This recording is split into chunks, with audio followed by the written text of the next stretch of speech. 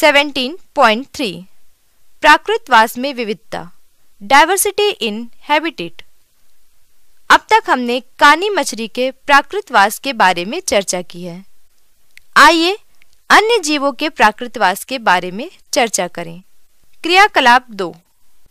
आपने अपने आसपास किसी ऐसे पेड़ को देखा होगा, जो उस क्षेत्र में सामान्य रूप से पाए जाते हैं, जैसे तेंदु, महुआ आम, जामुन, बबूल, नीम, अशोक आदि।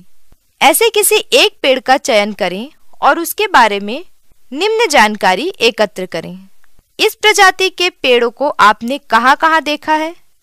जंगल में, मैदान में, पहाड़ पर, नदी के किनारे, पानी से दूर, या अन्य कहीं।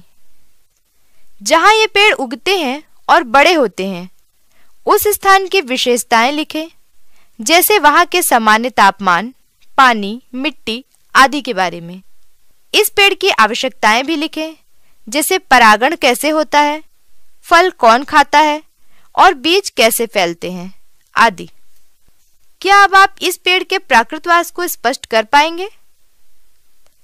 आप इस पेड़ का चित्र बनाएँ। हमारे आसपास ऐसे कौन कौन से जीव हैं जिन्हें हम दूसरे जीवों की तुलना में अधिक संख्या में देखते हैं। ऐसे कुछ पौधों और जंतुओं के उदाहरण लिखें। क्या आप जानते हैं? हमारी आंतों में कई सूक्ष्म जीव रहते हैं, जिनके कारण हमें भोजन पचाने में मदद मिलती है। इनमें से कुछ जीव ऐसे होते हैं, जिनका प्राकृतवास हमारी आते हैं।